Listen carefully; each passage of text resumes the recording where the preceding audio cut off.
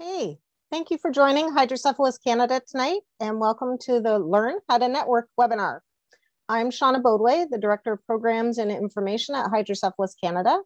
I will share moderator duties for tonight's webinar with HC's Community Support Coordinator, Andrea Walters. She'll be in the background, uh, monitoring the chat and answering any technical questions you may have. Participants through networking strategies, the goal is for participant, participants to be able to describe the difference between networking and job hunting, learning how to send a connection request on LinkedIn, how to identify when to reach out to your network for help or to share information and to keep track of connections. Our presenter this evening is Suzanne Huggins. Ms. Huggins is a communications, change management, and learning and development leader with experience managing new technology, wealth management, and human resources projects in Canada's Big Five banks. She holds a Bachelor of Journalism from Carleton University and postgraduate certificates in Information Systems Management, Canadian Securities, Corporate Communications, and Organizational Change Management. Suzanne is currently the Incident Communications Manager for Scotiabank Global Technology Services. Welcome, Suzanne. Thank you so much, Shauna. Thanks for having me this evening. And welcome, welcome everyone. Thank you for joining. Uh, tonight's topic is on how to uh, build and nurture your network. Um, I was very lucky early on in my career. I, uh, I, I happened upon a mentor who was also interested in uh, networking and building out a bit of a mentoring circle. Um, but as a result of her encouragement, because I was a little bit shy um, when I was uh, earlier starting off in my career, with her encouragement and coaching, um, I was able to build out a fairly large and successful network using some of some of the techniques and strategies that we're going to talk about tonight. Um, I'm anticipating that there's going to be a, quite a bit more, uh, quite a bit of interaction. I understand that some questions have already come in and Shauna is gonna help me address those as we go along.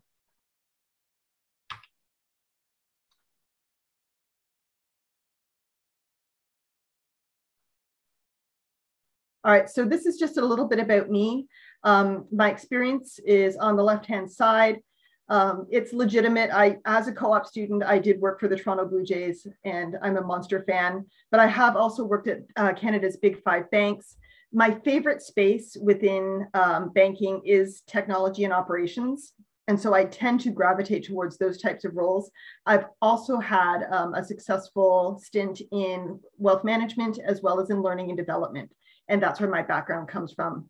My formal education is on the right hand side. I'm what you would call a lifelong learner. It's a little bit of addictive for me, but I, I love learning new things. And so that is something that I focus on and I dedicate some of my personal time and resources to. What we're going to be talking about tonight uh, is how networking is different from finding a job. And although the two are related, um, building a network is separate from a job search. So the two, the two are different. Um, we're going to look at how to build your network successfully, how to nurture your network, so to keep it active and keep it maintained. And then we're going to finish off with a little bit of an activity. Um, if you don't already have one, maybe maybe take a moment and grab um, a piece of paper and a pencil because I'm going to I'm going to get you started on organizing, building your own network. And I've got a takeaway for you as well tonight hopefully you're game for this. We're trying a little bit of an, an interactive activity. Uh, I'm going to be checking for questions at the end, and I know that Shauna um, is monitoring questions as well, as well as Andrea. All right, so as we discussed, building your network is not a job search. Um, a network, I, when I think of my network, and the way it's grown over you know the course of my career and over the course of my different sort of academic endeavors a network i think of as a large group of friends and i might not see them regularly and i might not communicate with them regularly but we do have our channels to get in touch with one another um, i'm a monster fan of linkedin it's kind of like the professional facebook for me in in terms of keeping track and staying in touch with the folks who I've loved working with over the years, but maybe don't currently work with or haven't talked to in a while. Uh, with a network, there is a give and take uh, relationship. So it's terrific to just know a lot of people, but it's not just a matter of knowing a lot of people and expecting them to feed you information or to help you out with things that you might need. There is a there's a give component to that as well. And in you know, I think of it as paying it forward, but in identifying sort of what the interests are of the people in your network and the value proposition that you can bring to those people you're able to satisfy both your your need and your desire to maintain that relationship and keep it warm and also help help them at when they, when maybe they're looking for help the end goal of your network is to simply maintain a relationship the end goal is not necessarily to get a job but by virtue of maintaining the relationship it increases your likelihood of identifying new career opportunities or new any sort of other development or relationship opportunity. Um, I want throughout this session tonight, I, I was talking about it with um, with Andrea yesterday. I thought I'd share some stories, and one of one of the ones that I thought might resonate is back when I was a student. So I had finished, you know, I was in like my my postgraduate certificate in corporate communications. And my very first job was like grunt level, entry level um, public relations coordinator. So I was the person who who filed press releases when any of our clients got um, in the media. Like I literally, there was scissors and newspapers and there was clippings and putting them in scrapbooks um, because we weren't digital at the time. Um, call, you know, faxing out with the fax machine, faxing out uh, news releases, media releases to try and garner media attention for our clients. Um, I, was, I was that person, but I was in a, a mid-sized public relations agency and I worked with a number of different people who were super fun. And so one of the benefits of this, I, you know, it paid very little, but on Friday nights, we always got to go out. And one of our big clients was Labatt. And so the the fellow who had the Labatt account brought his card, so we got to jump the line to get into the club every night, um, and it was super fun. Anyway, that was that was easily 25 years ago. Two years ago, um, and it was through LinkedIn. Um, a fellow who I work with, his name is David. He reached out to me on LinkedIn um, because he found me through my maiden name and said, "You know, Suzanne." I don't know if you remember me, but we worked together at this public relations agency I noticed that you have this change management certificate. Can you tell me more about it? Because I'm interested in it. And one of the philosophies that I followed because of all of the help that I've had in my career and just simply because I enjoy meeting other people, I always believe in sort of if someone comes to me for help, I'm going to help them. And it didn't matter that I hadn't talked to David in over 20 years. He was asking me a question. And I remember back when I was, you know, a new grad, he was nice to me. So I sent him a bunch of information about the change management certificate I'd completed. And the, res- the, the reciprocity was he gave me the name of two um, recruiters who I had not been in touch with because at the time I was contracting independently. And so I was I was finding work based on sort of contractual relationships instead of being full-time permanent, which is what most of my career had been. So he put me in touch with two people that resulted in um, potential job opportunities. But that's an example of, you know, that network had gone cold. Again, I hadn't talked to David in probably over 20 years, but because we were connected on LinkedIn, um, the, the relationship, it was, it was giant air quotes here, semi-warm, and, and I was able to help him out. There are other, there are other examples, you know, through the course of this session that I'm going to talk about, but it's just one of those examples of kind of paying it forward. 20 years ago, David was really nice to me. And as a student, he gave me some experience that I was able to put on my resume, um, supporting him on his client accounts. And so now if he's got a change management question, you bet I'm gonna help him out. So the benefits of networking, again, the end goal is not necessarily finding a job. It's the sharing of information. So you benefit from acquiring information and you also benefit from paying it forward and helping someone else um, who may down the road who may be down the road will be inclined to help you as well you're going to learn new skills uh, whether it is getting advice on a course that maybe you're considering taking that you, are not sure about you can reach out to, to your network to ask about it if there's someone who you think has done an exceptionally good job of managing their career or maybe you think of as being particularly successful or maybe polished you can ask them. So I've noticed that that you're very good at presenting. You you don't get flustered. How did you develop that skill set? You can ask them those types of questions to develop your own skill set. Uh, certainly maintaining support supportive relationships that's been a big one you know we can think about covid because that's the immediate the immediate example but there are plenty of other examples you know when i when i came back from mat leave um, some of some of my immediate professional relationships were a bit cold because I hadn't seen folks in a year and we hadn't kept in touch. But the people who were also interested in maintaining me as a connection, they they were able to, you know, they were very supportive when I was coming back to work. And then lastly, um, I don't think really of my network as being, you know, we largely we have professionalism in common. Like at some point, we've probably all worked together in communications organizational change management, learning and development, or probably wealth management technology. But I think of them as being a large circle of, of friends who I genuinely like, and, and hopefully they like me too.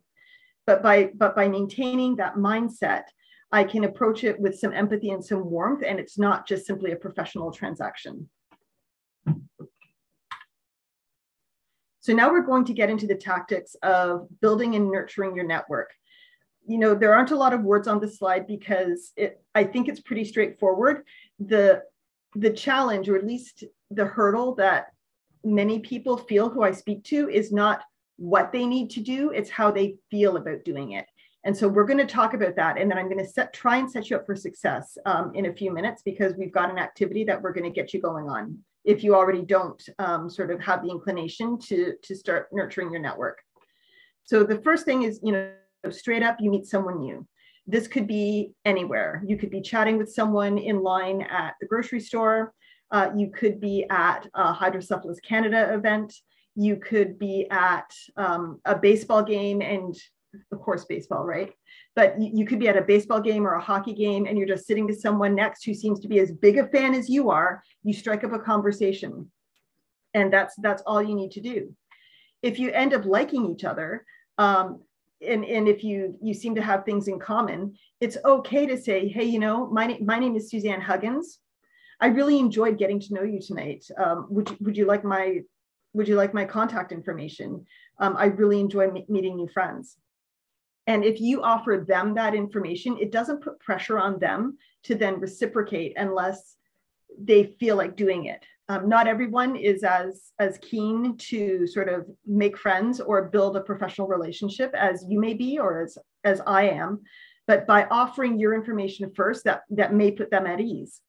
And then lastly once you get their information absolutely follow up with them because then if you don't immediately the relationship is going to go cold so if you happen to exchange email addresses or even if you just say oh yeah my name is so and so or the, the person that you're trying to connect with um, says, oh yeah, my name is so and so, I'm on LinkedIn, get onto LinkedIn, or you know, if they give you your email address, get on there like later that day or the next morning at the latest and say, hi, we met at such and such an event.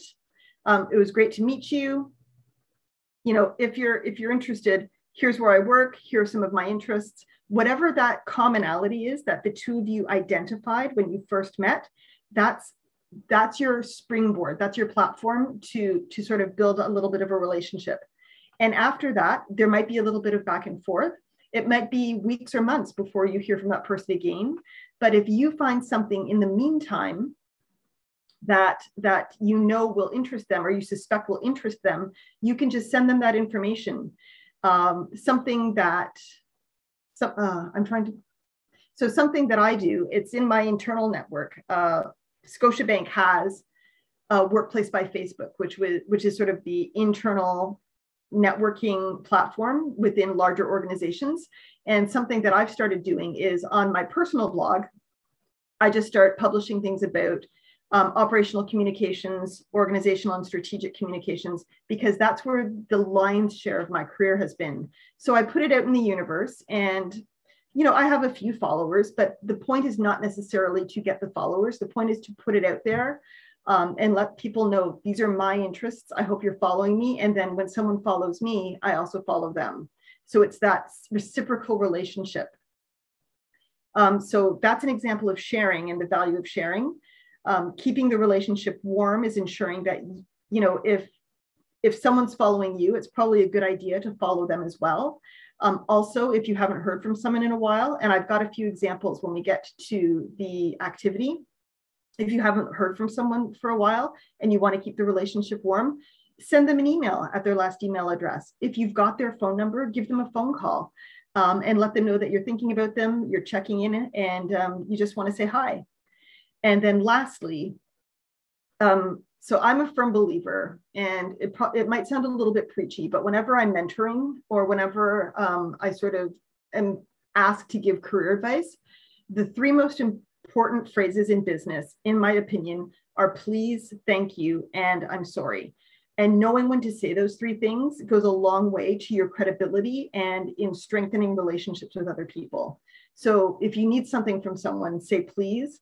If you've made a mistake um, or if you've done something maybe that has that was detrimental to the other person, know when to say sorry and, and own it. Um, and then lastly, say thank you. And thank you can take many forms. Sometimes it's simply saying, thank you, I really appreciate your help. Um, you know, a handwritten note goes a long way if you have the ability to give someone a handwritten note, or certainly an email that at least the person can file away and they'll remember that, that this is something that you you were grateful for and you appreciated that they did. Please, thank you, and I'm sorry.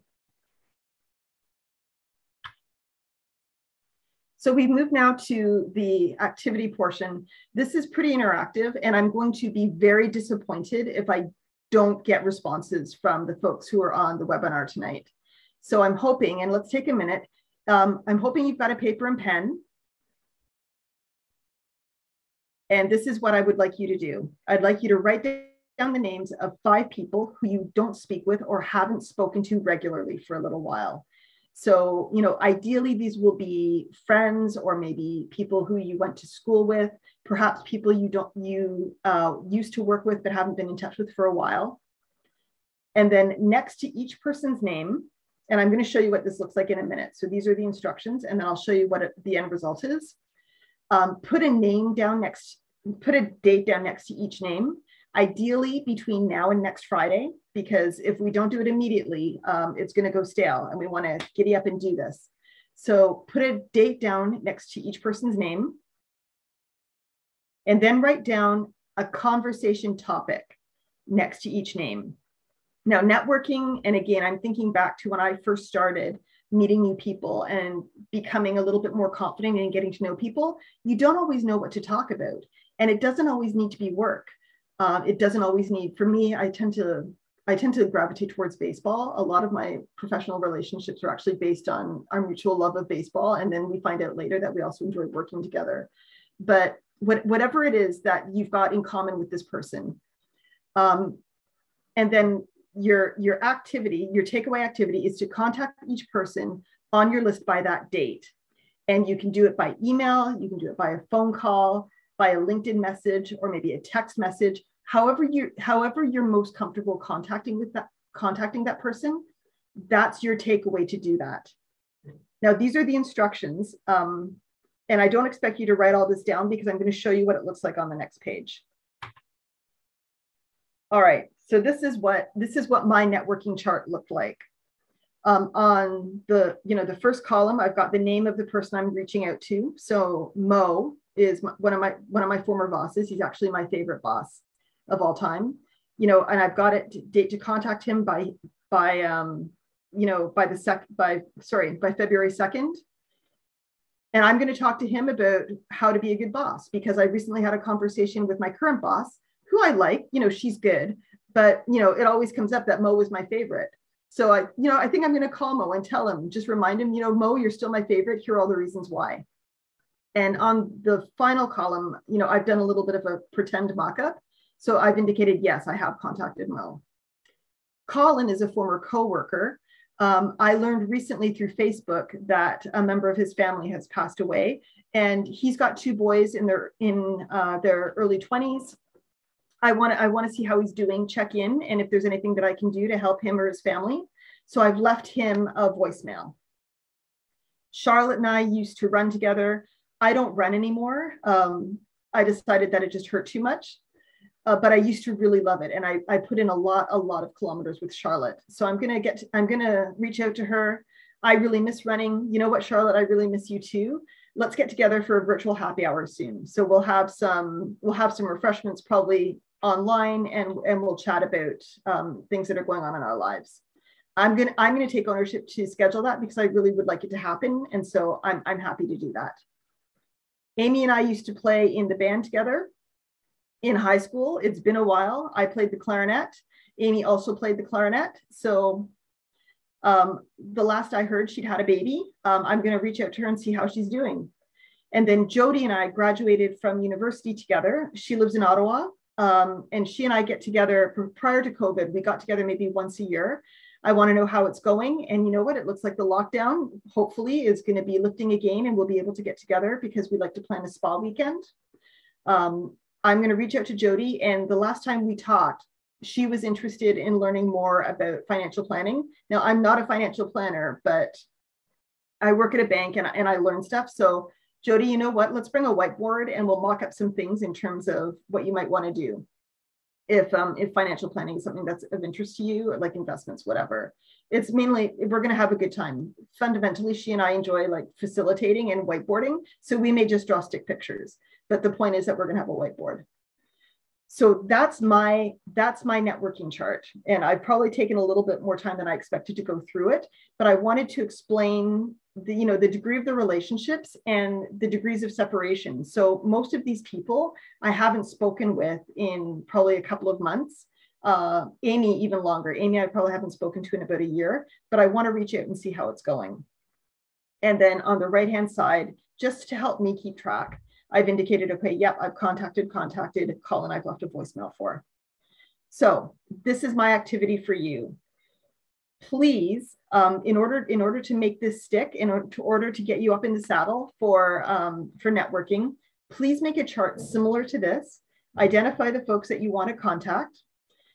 On the bottom left of the screen, I provided my contact information. So if you're kind of struggling or maybe maybe you think you don't have anyone to network it with you now know that you have one you have me so um, i've given you my hotmail account because that's my professional account that that i'll be able to look for you in and linkedin this is my linkedin profile so get me on linkedin and you can reach out and you can say hi um, i attended your hydrocephalus canada session you know, would you like to connect? Something to that extent. And that will get you up and running. And I will respond back and I'll make sure that you'll have at least one relationship that, um, that you'll keep warm in your network. Now, that's the activity. I'll be so, and let me, and let me just say, I will be so sad if no one does this. So please, just for the sake of my own feelings, just give, give it a shot. And if you only connect with one person, please, please let it be me because then I'll feel like the activity was worthwhile. Now that's that's the end of my presentation. Um, the thing with networking, like we've talked about the tips and you'll have the deck. The thing with networking is to, is to simply get it going and your, your comfort level will increase the more you do it. Um, and you'll get into the habit of maintaining these warm relationships as you go along. Um, I, I'm a big believer in it. I certainly was shy when I started, but I'm, I'm so glad. I'm so glad that I did. Shauna, I understand that there might be some questions coming in. There are. and the first one is what does a warm or cold connection mean? Okay, so that's a great question. So a cold, so the example that I used earlier on in the session, um, my friend, my, my former coworker, David, who I hadn't heard from in 20 years, is that a warm connection or is it a cold connection? I would call that a cold connection. So certainly I remember David, but we hadn't had any interaction in over 20 years. Um, so that that was cold. A warm one is one that maybe. So I'm trying to think. So my friend, my friend Alexis, Alexis and I initially worked together in 2006 and we have a very similar skill set. So actually, she was leaving a job that I was coming into, and before she left, I ended up just scheduling her for coffee to find out how I could be successful in this job because I really wanted to be successful. And so she she agreed to have coffee with me, and we've been friends ever since. But I haven't talked to Alexis personally in probably 18 months, but we we email periodically and we've shared recipes. So that's an example of a warmer relationship. Now, Charlotte and I, we used to run together but i also know that charlotte has an interest in you know continuing continuous education and and learning and she took a course uh, last year through a university it was like one of those um, you know six to eight week courses and i wanted to see if she enjoyed it and what she got out of it because i was also considering taking um, a similar course. So that's another example of a warmer relationship where not as much time has passed. So maybe in the chat if you could indicate you sort of if that gives a good idea of what a cold relationship is versus a warm relationship. That would be terrific because then i'll know i've hit the mark. The response is yes thank you no, thank you. And thank you for that question. The next question is How do I get over the fear of being a bother? Uh, so when I think about that, if you're if you're reaching out, if so, I'm going to think of probably an example that might resonate. And if it's not, then you can steer me in a different direction. So if you've applied for a job and you haven't heard anything, Hi, I'm just following up. Hi, I'm just following up. Hi, I'm just following up. If they haven't told you that they've made a decision, or if they haven't told you that I'm really so sorry, um, you were a strong candidate, but we've taken a different direction, that's that's the other person's fault. So specifically when it comes to looking for a job, you're not a bother following up because it's the job of the other person to tell you where you stand. Um, and I feel I feel pretty strongly about that when it comes to just maintaining a relationship, this is where having a reciprocal relationship might might make you feel more confident in the difference between um, being friendly or being a bother. So it's not just a matter of can you do this for me? Can you do this for me? Tell me how you did this. Help, help, help me, me, me. It's also hey, I found out. Um, hey, I understand that you really enjoy cooking. I've discovered that the CBC over their website releases monthly recipes and they're really good. Here's the link.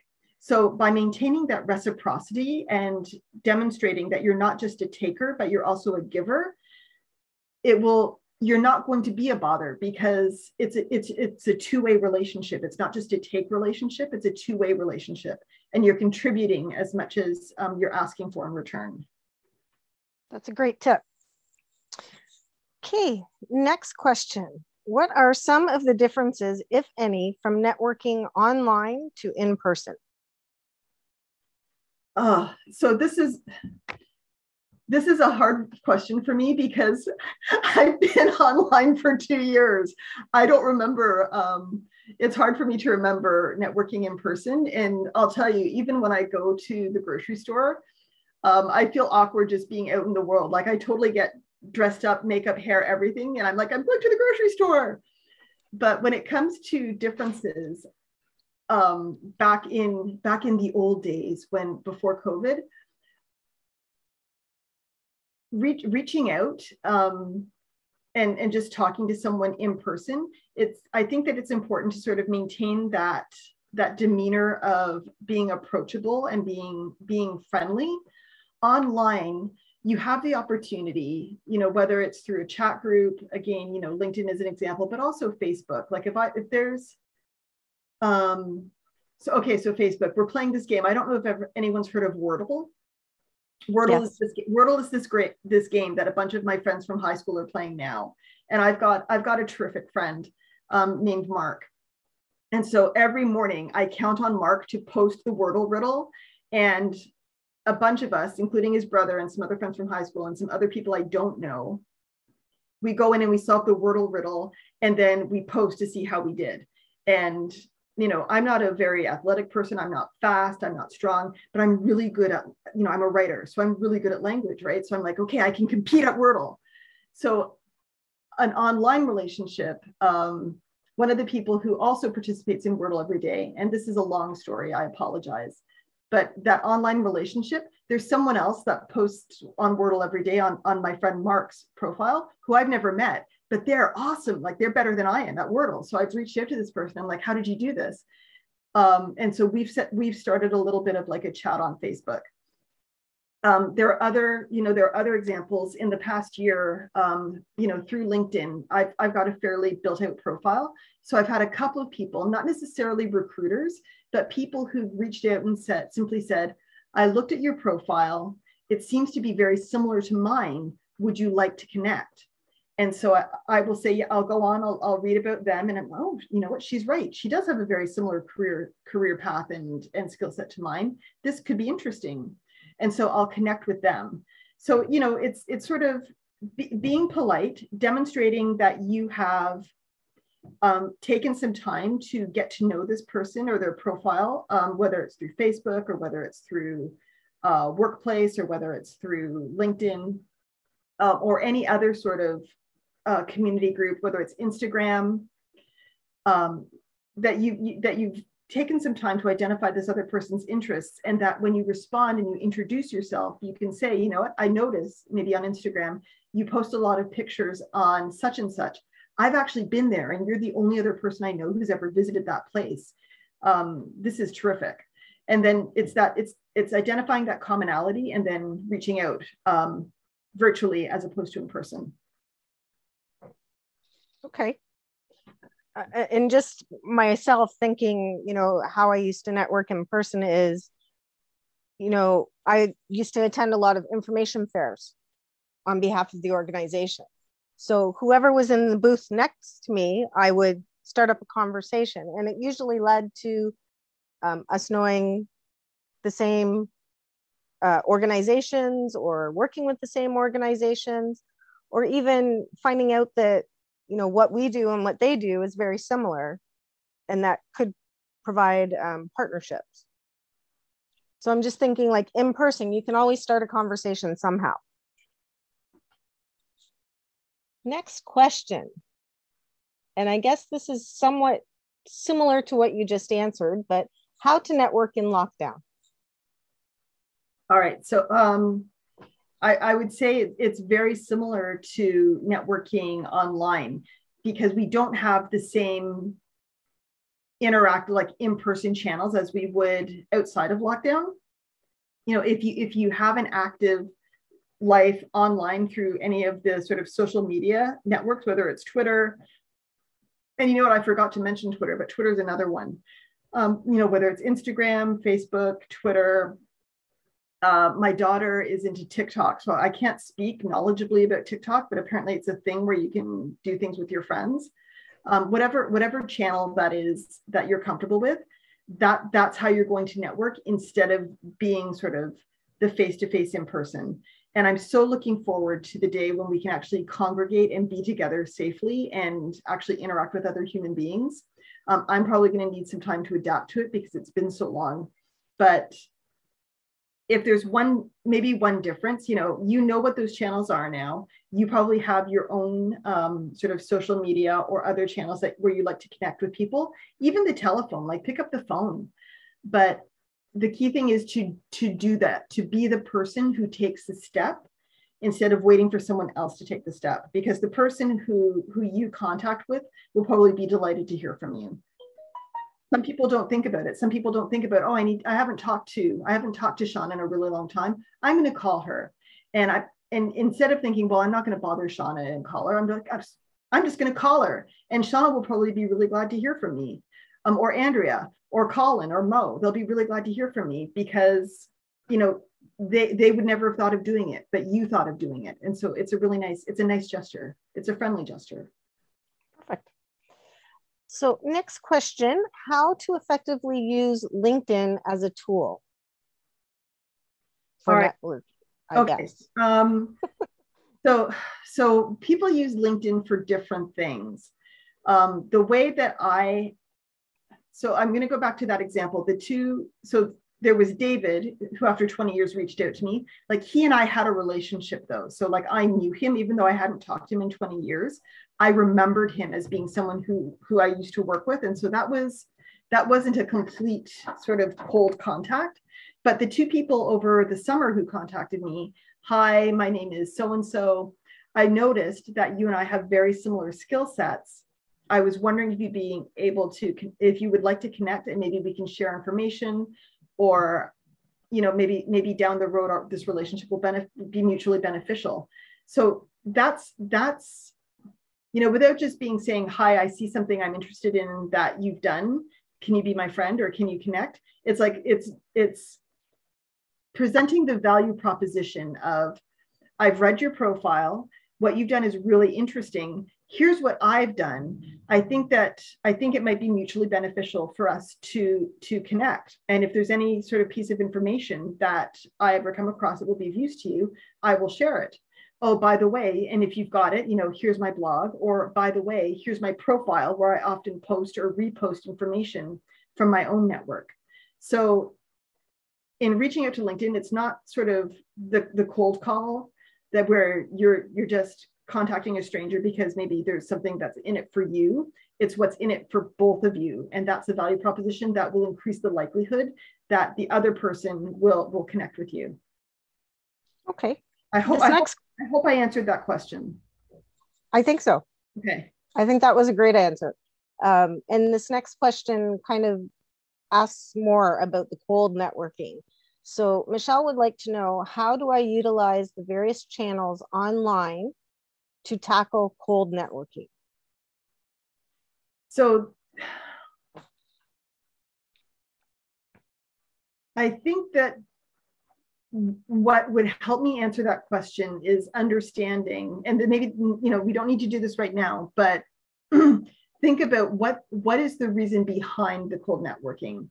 So when I think of people who cold contact me, whether it's through my job or it's through my professional network through LinkedIn or even Facebook, it's often because they're selling something. Um, I, you know, perhaps you, perhaps you are in a situation where you're cold contacting someone um, because maybe they're hiring and you're a job candidate, or maybe someone's got a job that you'd like to learn more about. And you know, I don't think that the process would be that different then. It's like, hello, I've read, you know, I've read your profile, or you know, I've learned about you through such and such um, a friend or through such and such an event. And I would, I, I really admire, or I'm very interested in in what you've accomplished. Would would you mind connecting? And so whether whether it's through LinkedIn or through Facebook or through Instagram or through whatever other um, channel or even an exchange of emails, whatever other channel you have to connect with, it's it's respectfully asking that person if they'd mind but also demonstrating that you've taken the time to sort of see what your interests are. And it's not just that maybe they've got something that you want. It's also thinking in advance of what might you have to bring to the relationship so that it can be mutually beneficial. Okay. and even if that's just like being a friend you know um, even if it, it, mutually beneficial doesn't necessarily mean oh well if you help me with this professional thing i will help you with that professional thing. It's more a matter of well i'm really trying to develop my skill set here but what i have to offer is and you can think of something. I know i know a lot about i see you have pictures of dogs on your profile. Well i know i know a lot about dogs and i've had great success training them through my volunteer work or whatever like i'm just trying to think of other sort of reciprocal things you can offer. It doesn't always need to be like a straight um, it doesn't have to always be transactional. That's what i'm trying to say. Okay. Um, i'm gonna actually click on her name and see if um, we can allow her to talk. We'll see if she's interested in that. Okay Oh, actually, she said thank you. So I think you might have might have answered her question. Okay, thanks. And you know what? You you've got my contact information now. So if you want to follow up with me, um, please please by all means, we can keep the conversation going. Perfect. Uh, the next question: What is the most positive way of networking that would lead to more connections? Um, so when I think about, there's a couple of things. So, and they're completely they're completely divergent. Um, the first is I, I seemed to have met a lot of people when I was running a lot. So I used to run out of the running room, and they have these free running clinics on Sunday mornings and on Wednesday evenings. And the same people would show up um, every Sunday morning and every Wednesday evening. And we found that we trained for the same races. But I'll tell you, when you're training for a long race, you're putting in a lot of kilometers and you're in a group. And so you're going to end up with people who are maybe at the same speed as you are. My speed is slow. So I was with all the slow people, but we also talked about cooking and we talked about our kids and we talked about um, television that we all like to watch. Um, and then we talked about cooking some more because that was a big thing. But just the nature of that activity um, resulted in making more contacts. And the coincidence was that we also were all very interested in running. Another example that I'm going to use, and I'm going to use it second because it's just coming up. Uh, at the beginning, you saw I'm kind of a lifelong learner. I really enjoy um, taking new courses. And next week, I'm starting a, um, an, an eight week program at U of T Rotman on a particular subject. So I'm really looking forward to that because I'm going to be put into, um, you know, I'm going to have like my independent my independent tasks. We're going to have group discussion online. Like nothing's in person still, but we're going to have group discussions online. But I'm going to meet a whole bunch of people who I've never met before. Um, I've probably never worked with them before, but we all have this particular topic in common. And I'm crazy looking forward to meeting them all. So that's another way of in a group setting. It's a different kind of group setting, but we're going to we're going to be virtual but we're going to build that network. And as we get to know each other we're going to connect through email. We're going to connect through linkedin. We're going to connect through the chat groups at u of t that we're going to be required to participate in. That's another example of how you can sort of build out your network.